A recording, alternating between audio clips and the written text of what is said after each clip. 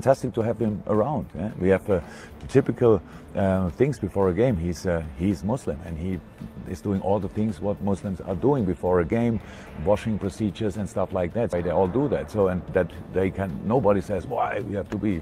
Now we wait all. That's completely normal in a team, and that's how in idle world the world would work. Yeah?